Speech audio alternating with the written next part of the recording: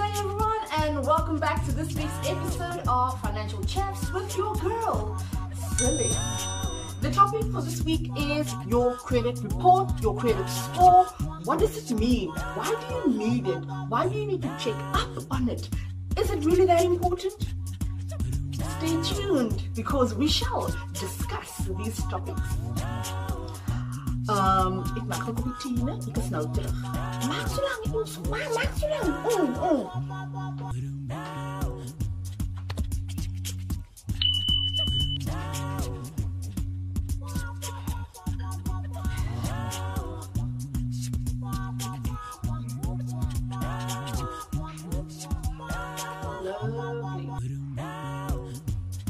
Take note, guys, that none of my videos or content constitute as financial advice. Should you seek financial advice, please contact individuals and institutions that are certified and registered with the FSCA and the NCR. Right, so credit scores, credit reports. What are they? okay, to give you a nice explanation, your credit report is simply a report that contains all of your credit history. My mom always used to joke and be like, "Ooh, my kind, as jy net jou ID hulle gee en sien hulle jou hele besigheid." And truth be told, they do see your whole business.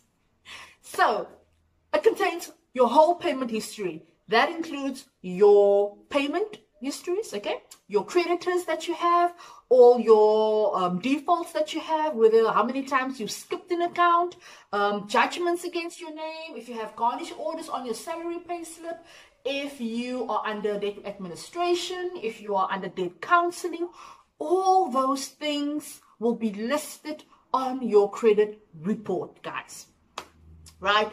Where the credit score comes into place is based on the activities on your credit report, you will get a score. Okay. Now, all the different types of credit that you have, each of them has like a weight category, right? So each of those categories rather has a weight attached to it. Okay. So your if you have a bunch of credit cards, if you have a bunch of store accounts, um, if you have a bunch of loans, whatever type of loans you have, you know, personal loans or home loan, or if there's too many people that's doing an, a credit inquiry on your name, that's also going to be listed on your report, right? So all those different categories, they have a weight, percentage weight, okay? And based on how your behavior is in those categories, you will get a score. And that's how they build up your credit score. Now, what I will do is, yeah, I will put up the, a picture for you guys so that you can see the different types of credit score and where you should be laying in, okay? You can check that out quickly there. Also, I will put in down the links below of a stunning website that explains everything for you in detail, okay? So if you are more interested in that, check out my description box below. So, that's your credit score and your credit report. Now, who are these people that are doing these things? Like, why do they even have all that information on you? Guys, guys, you know, these creditors and financial institutions and the bureaus, which is the credit bureaus. Now, those guys, I feel like they are like brother and sister, you know, they love each other very much. They work liquor together because the moment you take out credit, okay, and someone grants you credit, that institution company creditor is going to give that information, send it to the credit bureau, and be like, yay, oh, gee, he's nog ene. There you go. You know, that's what they do. And they are constantly in connection with one another. So everything that you do to your creditors, that creditors sends the information to the bureaus, okay? Now, the bureau credit bureau specifically, the term bureau means like an organization or institution that collects a bunch of data and they turn that data into information slash reports. Right? So whenever the creditors need a report, They can just be like, um, brother, sister, send me that report quickly. Thank you, thank you, thank you.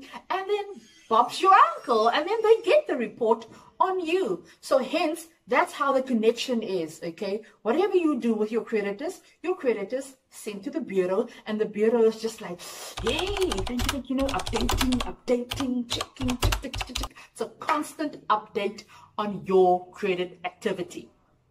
So that is the bureaus. In case you are wondering where your data comes from, why is it always, why these people know everything? That is the connection. Who are these bureaus? To give you an example of a bureau, credit bureau, we have CompuScan, which is a South African um, bureau. There is TransUnion, also another one, South African bureau. There is Experian. They are, I think they, that's international company, or I think it is an international company. And that international company actually owns CompuScan, and they also own ClearScore. ClearScore is stunning, guys. There's also another company. Remember, I'll put links below. ClearScore is a bureau that gives you your score, your credit score every month. It updates your score every month for you. So if you are interested in that, go to ClearScore. It's absolutely free of charge. Free, free, free. So check them out. You can get, lock your profile there, put your ID number in and Bob's your uncle. So they are the bureaus, okay? Those are the, the, the well-known bureaus in South Africa. My brothers and sisters, you want to have a good credit record because that will put you in a position of negotiating for better interest rates. If you are someone that pays your account every month, you are on time with all your payments, you never skip anything, and you pay your accounts or loans off within the term that has been given to you in the first place, you are stunningly in that aspect. That means that you will have a beautiful credit score and your report won't have any bad or information on it. You can use that to your advantage because you can go to bank A for a loan, for instance, or a home loan specifically, A. Let's say a home loan. You can go to bank A. You can ask them for to give you a better rate. If they give you 11% interest rate, you can be like, but whoa, whoa, whoa, whoa. Did you see my beautiful record? Did you see my stunning credit score? I don't think so. Bring that thing down you can negotiate. And if they don't want to negotiate, then you can be like, okay, ma'am, thank you, bye. Next bank. And you go to that bank and you tell them, listen, yeah, I was now at this other bank and they gave me 11% and I feel that that is very wrong.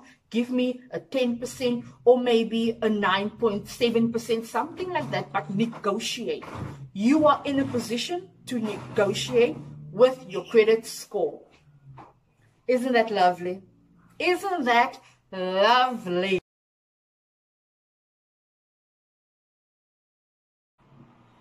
You don't have a credit score. You don't have a credit report. You're not interested in going for a loan. You are not about that business. So hence, you just can't get credit nowhere because there's not there's no information, right? Imagine, imagine, you know Sarah, okay? Sarah down the road is a chick that always comes and borrows money, right? She is that person that she will come and she will ask you something till end of the month and you will give. But come end of the month, then Sarah always has an excuse. Or Sarah feels like, no, man, she's not going to pay you because she doesn't feel that you actually need the money, man. She feels that you are okay, you are doing good, you don't need the money. So she's just not going to pay you. Done. You know those Sarahs? Yeah. Mm, mm. You know that information. So hence, the next time Sarah comes back to you, then you're going to be like, sorry, Sarah. Mm-mm. No. No, ma'am. No, ma'am. Because you know. Now, same principle applies with the banks and financial institutions. If you come to them, you want to borrow money from them, they're going to be like, but I can't find any information on you. How do you expect me to give you money if I don't know nothing about you? No, ma'am. No, ma'am. So, are you guys following me? Are you with me? Right? So, that's the reason why you need to take out a simple account, whether it is a small clothing account or a phone, a cell phone contract, even. That'll also help you a lot. Okay? Treat that account beautiful. Be nice to that account.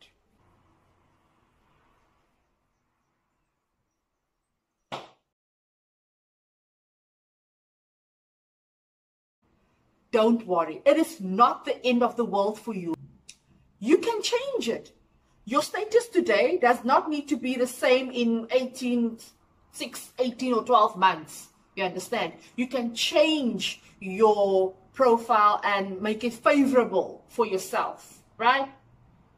How do you fix it? By paying off your debt. you need to pay off your debt. You need to tackle certain accounts.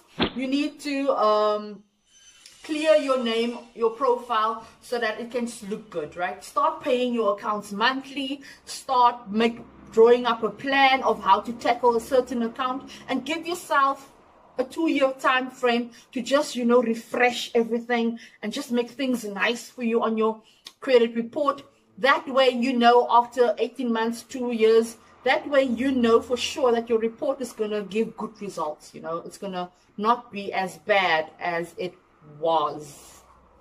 So, yes, there's always hope. You don't have to stay in that bad status of not having a good credit score. You don't need to stay like that. You can improve your credit score you can improve your credit score.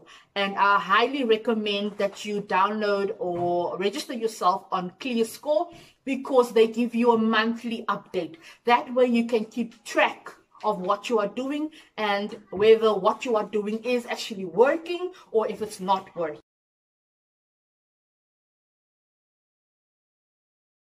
The other thing is we need to check up on our reports every year.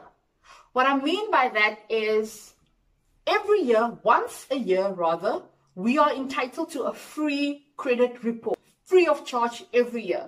The nice thing about that is the fact that do you actually know like when you get your report and you check what's happening on there? Have you actually gone out and taken that loan? Do you have this furniture account? Do you have that clothing account? Is that really supposed to be on your name? That type of thing you know? So it's a good thing to check your report and make sure that there's no identity theft or fraudulent stuff that's happening there on your name. So go onto those um, websites. I will put the links down below. Check them out and request your report. All you need to do is just type in your ID number and Bob's your uncle. And lastly, your credit score and your credit profile, it is something that sticks with you throughout your entire life. You know, there are some of us that believe that um, they don't like taking out credit or debt, you know, they don't, they don't want to accumulate debt and hence they don't have a credit record. So there's nothing on record, right? But as we progress in life, as our circumstances changes and we evolve as human beings, we tend to find out that, yay, I need to actually go to the bank and get a loan because I want to make a huge purchase that I can't do with cash. You understand? So, and those things is obviously like your cars and, and, and home and a, a, huge business loan, for instance, you know, those type of things. So then you need to go to a bank. Guys, if you have any suggestions, if you have any questions, you know, put it down in the comment section and, and let's have a nice discussion regarding this credit score thing. And, and, and let's see how you feel about it. Like, do you, do you care or don't you care? You know, what, what, what, what are your thoughts? Please share them down below. I would love to hear your thoughts and, and, and let the next person also, you know, learn from your comments. Thank you for tuning in. See y'all next time. Bye. Did you subscribe? That red, you rooi knoppie, rooi knoppie.